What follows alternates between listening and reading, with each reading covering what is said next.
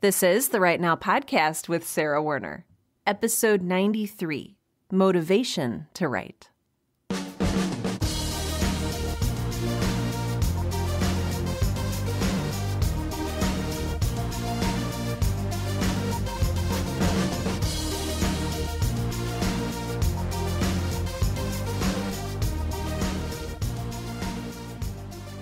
Welcome to Write Now, the podcast that helps all writers, aspiring, professional, and otherwise, to find the time, energy, and courage you need to pursue your passion and write. I'm your host, Sarah Werner, and today we're going to be talking about motivation. I feel like a lot of the time, motivation is very easy come, easy go we're working on something, we lose our motivation, we go on to Pinterest, we see a picture that says, You can do it, you can do hard things. We get our motivation back.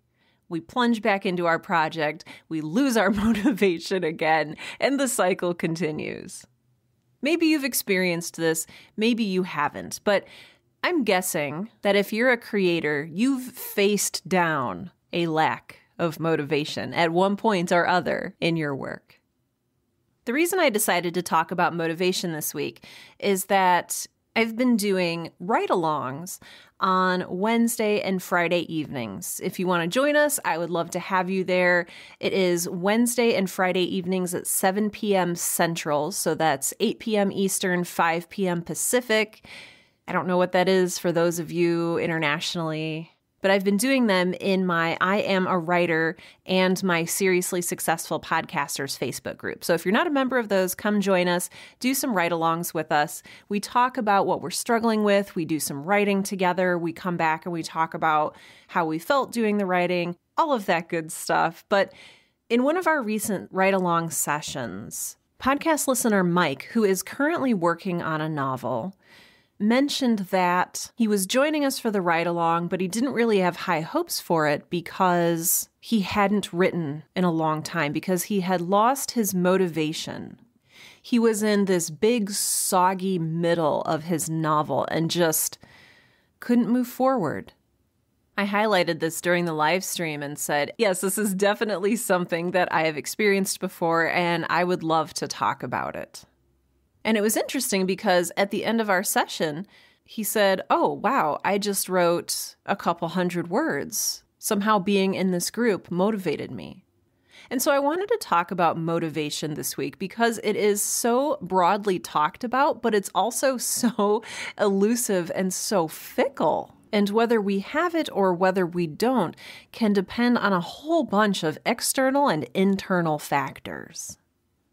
As human beings, which I'm assuming that you are because you're listening to a podcast, but maybe you are something else entirely, in which case, welcome and I'm glad you're here. But as humans, we are biologically wired to seek meaning. Chemically, when we find meaning or when we live into meaning, our brains receive a jolt of dopamine, which is a chemical that makes us feel happy and good. This dopamine hit, this good feeling, has a lot to do with our motivation. And I know I don't I don't like to think of my motivation as just little chemical dumps in my brain. Like that takes out a lot of the romanticism about creating and about achieving things. I want to think that I'm living my life for more than just dopamine hits. But that aside, the point here is that we are wired to seek meaning in our lives. And motivation is what drives you to seek that meaning. And yes, maybe it all comes down to a jolt of dopamine, but what gives you that jolt of dopamine? What is meaningful for you? What gets you excited? What drives you? What is the reason behind why you do what you do?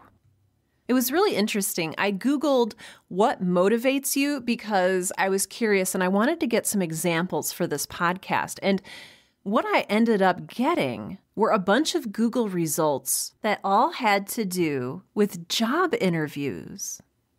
It turns out the question, What motivates you? is a very common open ended interview question. So this got me really, really curious. And I kind of went down this rabbit hole for a while. Because all of the answers were geared toward, quote, leaving a positive impression. And I got that from an article on Indeed.com, which I will link to in the show notes for today's episode.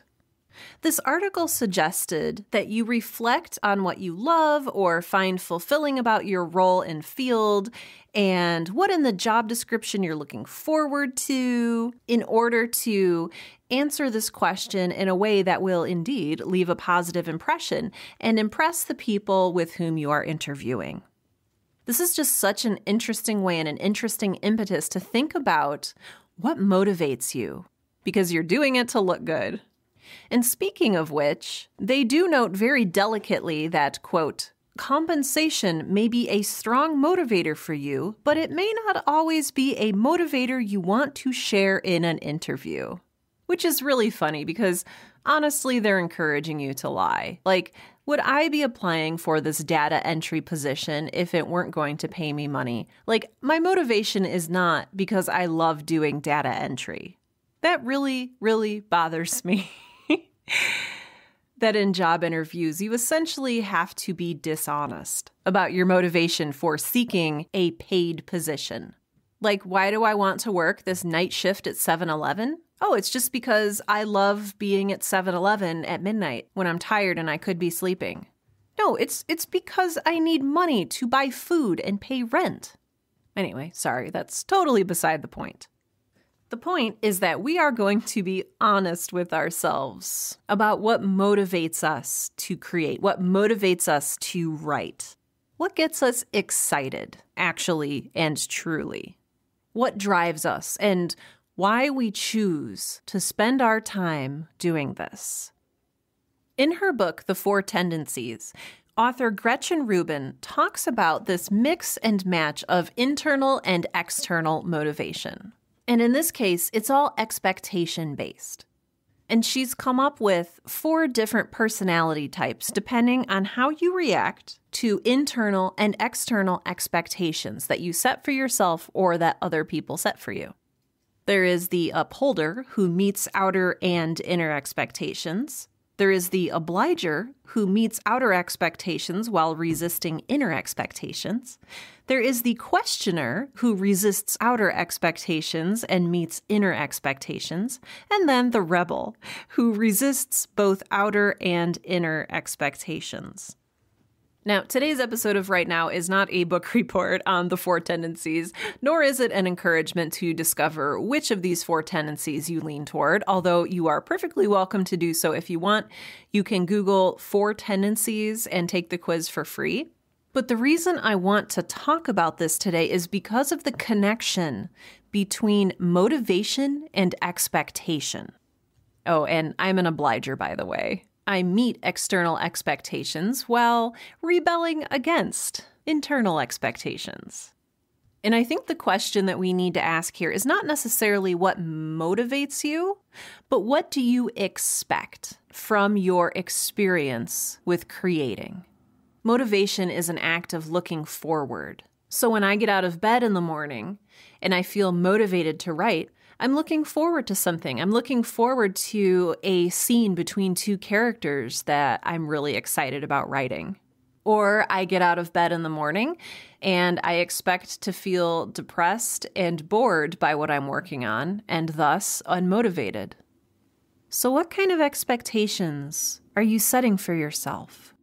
And what happens when we lose sight of those expectations, when we stop meeting them, when we lose our motivation. Because, as I said in the very beginning of this episode, motivation can be very fleeting. It's easy come, easy go. And that's because our expectations change as our experiences change. So, have you ever lost your motivation for a project that you used to feel really excited about? For me, the answer is very clearly yes. I've had this most clearly happen in a job that I was excited to start. You read the job description, you're like, oh my gosh, that's my dream. You get hired, you wait for your first day, you show up the first day, and you're like, yes, this is the first day in the beginning of my new life. And I can't imagine ever being unhappy in this new job position. I get to do what I love and I get paid to do it, which I did not bring up during my job interview because to do so would be indelicate. But there's a little bit of a honeymoon phase at the beginning of a new job, a period of extreme motivation and bliss when your expectations haven't quite settled out yet, and when your experiences haven't yet added up into one big culmination of fulfillment or letdown. Have you been there with a job? After three, six, maybe nine months, the shininess fades. Maybe the customers are rude. Maybe your manager doesn't let you experiment with the freedom that you had first been promised. Maybe one by one your ideas have been shot down. Maybe your coworker clips their fingernails at their desk Whatever it is that causes it, you are no longer on fire for your job. You are no longer motivated and driven within this job. And maybe the same thing has happened to you with a creative project. You started off excited for a new project, full of the possibility of a clean slate, refreshed and rejuvenated by the possibility of new characters, their interactions, or maybe simply the chance to tell your story, which sounds so liberating and so freeing. But then something happens. There's always a reason that we lose our motivation. There's always a reason that we lose our drive or our excitement about something and that is when our expectations are not met. So, we talked about the new job not being exactly what it was billed to be an annoying boss or a coworker who doesn't quite let you have the freedom or the experimentation that you were looking forward to in this position. Maybe with your creative project, it's the realization that you didn't quite know how hard it was going to be. You had the expectation that it was going to be fun all the time, and when in reality, writing can be extremely tedious. Maybe you've met with some resistance and you're not quite sure how to get past it. Maybe there's something stopping you or blocking you, and you don't know how to restart your engine. Maybe you've turned writing or creativity into a series of rules that are so rigid you are no longer interested in following them. Maybe you're feeling a sense of disconnect with your project because it's simply not turning out the way you had dreamed it would. Maybe it's adding an element of stress to your life that you'd just really rather do without. Maybe it's not fun anymore. Maybe it's boring. Maybe you're dissatisfied because you've been comparing your work to someone else's. Maybe it's taken longer than you originally planned. And maybe you're feeling discouraged, like you can't actually make a difference. That that thing that motivated you to begin with is unattainable these all sound awful, but they are all things that we face as creators all the time. These things that cause us to lose our motivation or to lose sight of what originally was driving us or to give up hope that the meaning we originally sought is not there for us. It's not waiting for us at the end. Or maybe the finish line is simply too far away. There are a million ways that we can lose our motivation, and that can seem so disheartening. And even more disheartening is it seems to be inevitable. Because when we initially set our expectations, we often don't know how to gauge them, how to set them realistically and appropriately. We jump into new projects with unprepared excitement, with blissful ignorance and it feels good. I love starting new projects. But it's hard to stay the course, to keep going, and to finish them when along the way our expectations aren't met in the way that we hoped and dreamed they would be. So, before this becomes too much of a downer episode, let's talk about ways that we can reclaim our motivation. At the very top of the list is remembering why you're doing this in the first place remembering why did I start this? What did I hope to accomplish? What was driving me? What got me excited about this in the first place? This is one of the reasons I encourage every writer to write a mission or a vision statement. I know I've been referencing this episode a lot lately, but I do have a Write Now podcast episode, episode number 46. It's called Crafting Your Mission Statement. And it's just a really good idea to do that and to be honest when you're doing it. And to have that mission statement written down for days when you need to remember why this is worth it. I had to do this recently myself. I've been writing season two of Girl in Space, and it's been a struggle. And it becomes even worse when I realize what a first world problem this is, when I realize how privileged I am and how whiny I'm being. And I had to dig through all of the garbage and re examine the reason that I started this project in the first place. Because a lot of stuff gets in the way during the process. A lot of that garbage builds up and gets in the way of the reason we're doing this. And I had to remind myself that, oh, here's the reason. This is going back to my mission and vision statement. This is the reason I started doing this. Okay, I can still do this for this reason. I just have to let go of all the clutter that's arisen in the meantime the fans, the reviews, the adaptations. I need to go back to why I started doing this in the first place. So that was something that was helpful for me. Another thing you can do is focus on the habit and the discipline of creative work. This is the infamous butt in seat strategy that I see a lot of long haul writers using. The idea here is that no matter how you're feeling, no matter how motivated or unmotivated you might be, you discipline yourself, you create a habit to sit down every day at a certain time and write. For some people, this is very helpful. For other people, it sounds like nightmare torture but it is a way to keep going and to rediscover your motivation through the act of creating itself. Another method is re examining the process, the rules, the structure that you've built up around your creative activities. Have you, purposefully or not purposefully, turned the act of creation into a chore? Have you turned it into something that is, for whatever reason, no longer enjoyable? Have you sucked all of the joy out of writing? Again, accidentally or on purpose. Maybe what you need, and again, this all comes back to your expectations, maybe what you need to motivate you is to allow yourself to experiment a little bit more, to allow yourself more freedom, and to get rid of some of those rules. Maybe you're feeling disconnected from your work. Maybe a theme or an element that you're uncomfortable with has crept into your writing.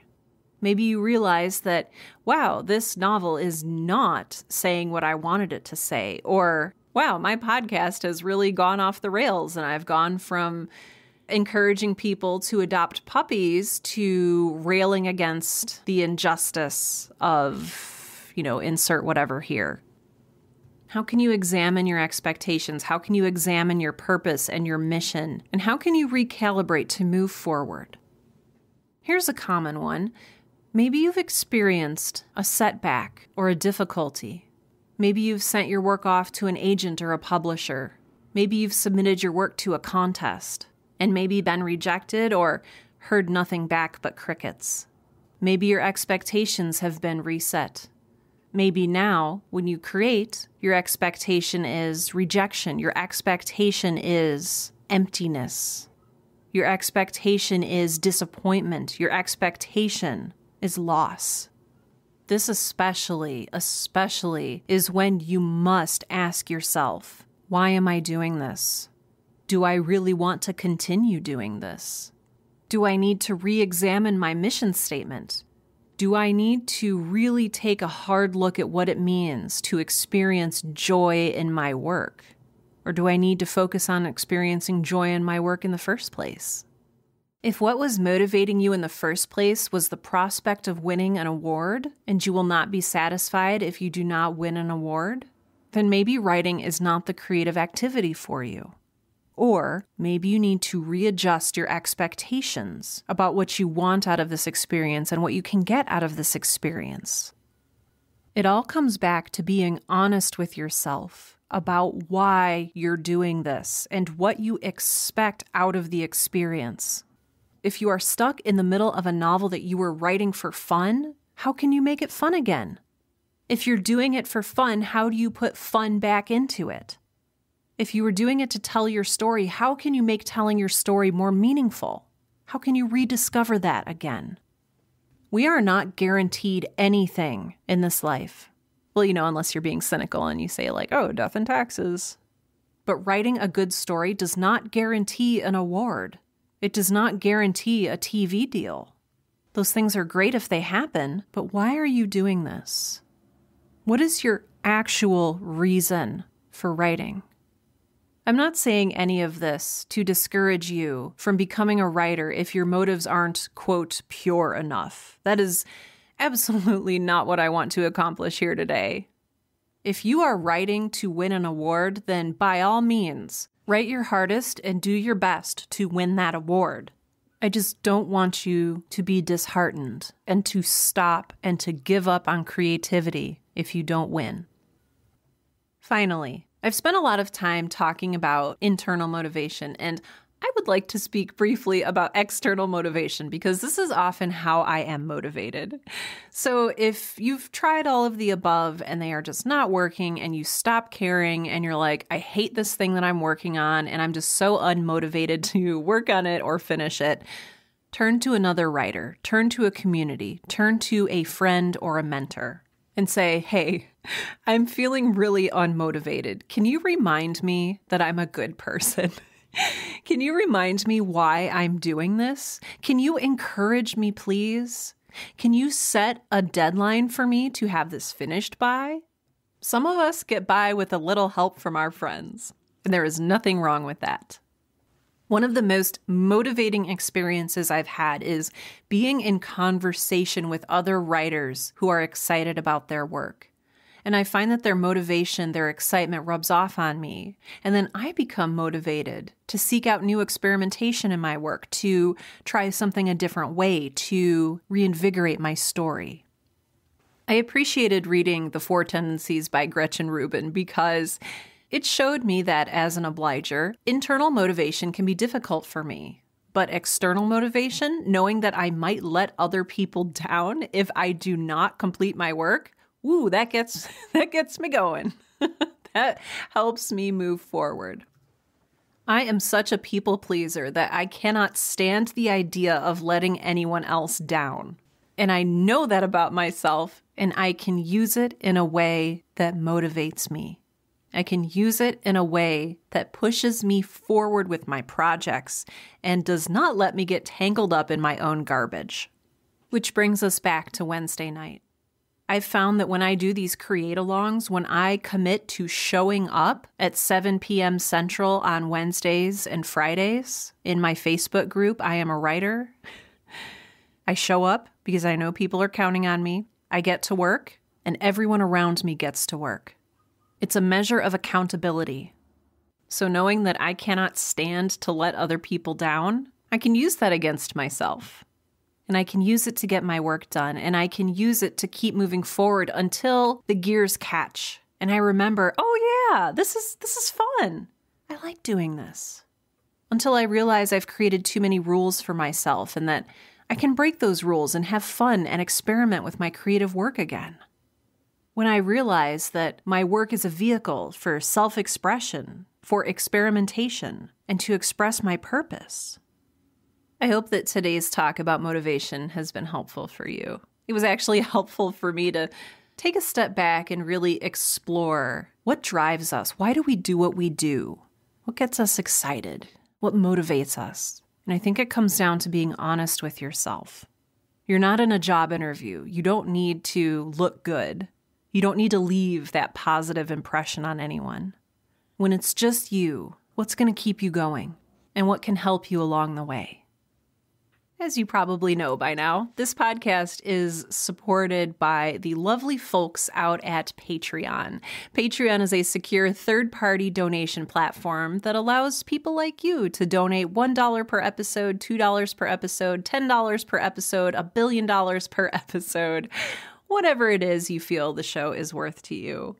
If you would like to support the show and the work that I do here at the Write Now podcast, I would love to have you in our I don't, I, it's not a cult. I would like to have you in our group of generous and beautiful individuals. And you can do that one of two ways. Uh, first, you can go out to patreon.com. That's P A T R E O N.com slash Sarah Rhea Werner. That's S A R A H R H E A W E R N E R and make your pledge. The second way you can do that is by accessing the show notes for today's episode out at sarahwerner.com. That's S A R A H W E R N E R.com. Navigating to the show notes for today's episode and clicking on Help Support This Podcast. Either way, I would deeply appreciate it. My patrons cover hosting costs, they cover the time that it takes to create the show. They're just they're just magical. They're just wonderful and I love them. So, Special thanks go out to Amanda King, Amanda L. Dixon, Julian Vincent Thornburg, Laurie, Leslie Madsen, Michael Beckwith, Regina Calabrese, Sean Locke, Susan Geiger, TJ Brick, Tiffany Joyner, Leslie Duncan, Ricardo, and Sarah Lauzon. Thank you all so incredibly much for supporting the work that I do here on the show. It means the world to me. And with that, this has been episode 93 of the Write Now podcast, the podcast that helps all writers, aspiring, professional, and otherwise, to find the time, energy, and courage you need to pursue your passion and write. I'm Sarah Werner, and let's get ready to work.